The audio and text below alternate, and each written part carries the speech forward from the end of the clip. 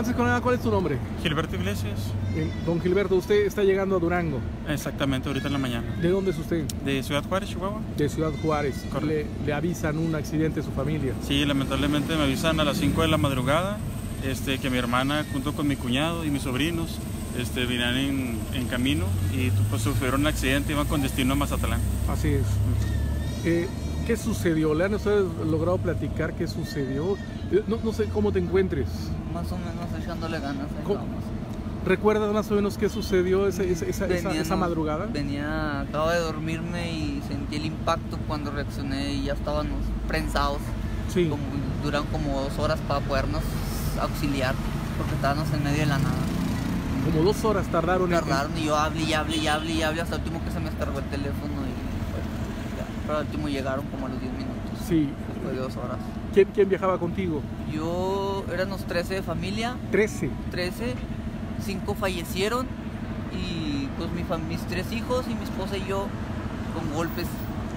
Pero estamos, no sé, está más o menos. Están Y más o una- y menos.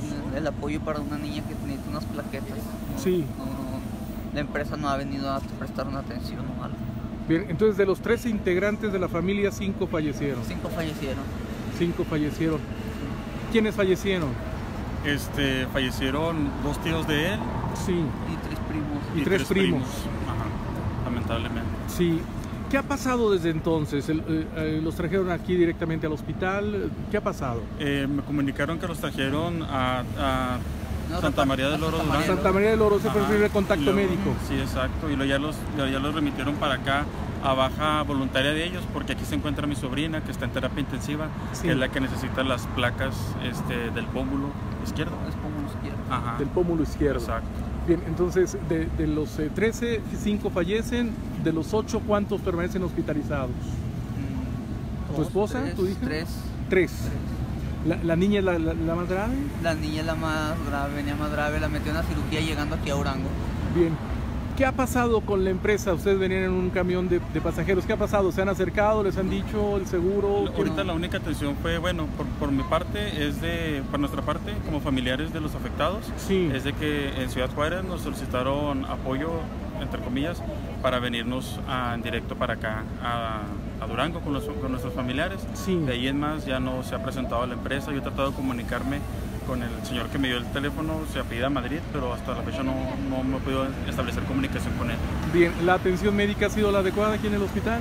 Para la niña llegar no la atendieron a ella, pero A ella sí. el problema es lo del... Ahorita ella requiere una- necesito necesito- son como 15 mil pesos, me dijeron estimadamente. Te están pidiendo 15 mil para poder poner esa placa, Sí, para poderlas pedir. para poderlas pedir. Entonces, como la niña es estadounidense, lo que estamos viendo también es que si se puede agilizar un traslado, ya sea en avión a El Paso, Texas, para que reciba la atención médica de- mm, adecuada y pues un poquito más profesional, ya que de hecho ahí está un hospital especializado en traumatología, eh, especial para niños. Entonces ahorita estamos viendo el, el apoyo más que nada este, para que nos agilicen ese traslado. Bien, de parte de la autoridad, ¿les han dado alguna orientación? ¿Los ha atendido alguien de gobierno? Este, el Una señor- señorita del DIF nos, an- a- ayer en la noche nos, nos dijo que nos iba a atender ahora. Que le habláramos en la mañana, pero andamos Sí, sí, sí. desubicado. desubicados. desubicados. Eh, bueno, pues nuestro más sentido pésame.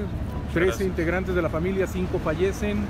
Y en lo que están ustedes con el tema del médico, pues también pensando en el tema del duelo y de... y- y ¿Qué pasa con los cuerpos? ¿Los van a, los van a trasladar? De hecho, en Parral se quedó una, una persona debido a que el accidente fue en San, llegando- Parral una hora y pasando media. Parral una hora Sí, y en el media. oro.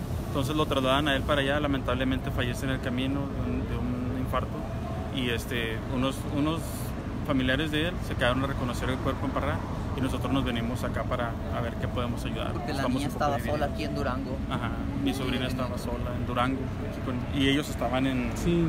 Santa De, María de los gastos funerarios, la empresa tampoco les ha dicho nada. Pues lo que, no- lo que a mí me dijeron en, en Ciudad Juárez, que ellos iban a ser responsables directamente, que llegáramos con el señor Madrid, él iba a atender a los, a los difuntos lamentablemente, y a los heridos, y a, las, a, a todos en sí, que llegáramos con él.